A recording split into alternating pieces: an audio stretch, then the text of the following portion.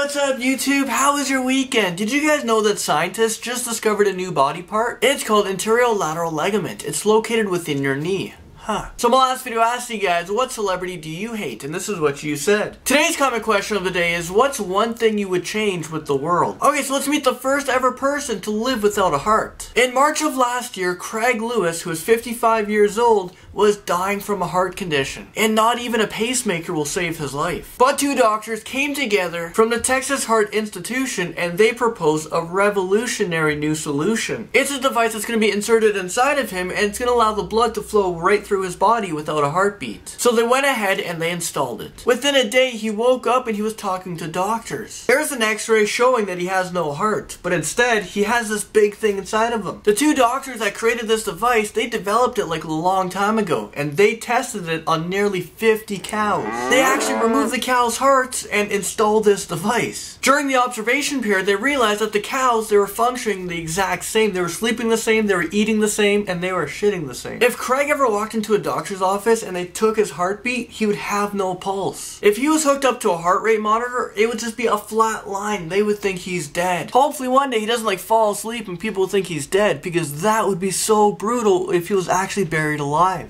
I think it's so amazing this device because Greg, well he was only given 12 hours to live by the doctors. What do you guys think about this story? Okay, so let me take you guys over to the Philippines where a typhoon just passed by killing around 1200 people. It's one of the most powerful storms on record. They're calling it Typhoon Haiyan. This class 5 storm has affected 4 million people, which includes 800,000 people who had to evacuate their home before the storm hit. Winds got up to 235 miles an hour, and that triggered major landslides, knocking out power and communication, causing a catastrophic widespread damages. This storm at the time of the recording is now moving its way down to Vietnam. People on the coast is preparing for this by filling up sandbags to block out the waters, and also to use it as a weight to keep their roofs down. They are also building walls on the coast with rocks. As you can see in this picture, they actually took the boats from the water and they put it on the roads. This is so when it floods, people can just go on the boat and stay safe. Here's a picture from space and it really shows how massive this storm is. Let's just hope that everyone keeps safe and stays dry as the storm passes through. So remember in my last video I was talking about Justin Bieber sleeping with a hooker? Well guess what? That hooker